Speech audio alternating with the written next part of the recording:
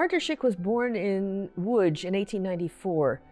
Recognizing his talent at a very young age, Szyk's father sent him to Paris to study. He forged his own path. There is no one who does work anything remotely like Szyk.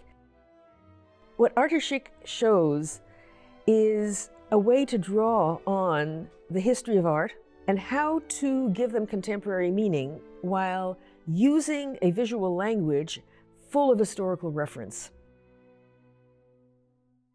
We can see his interest in relations, Polish Jewish relations, Polish American relations, American Israel relations.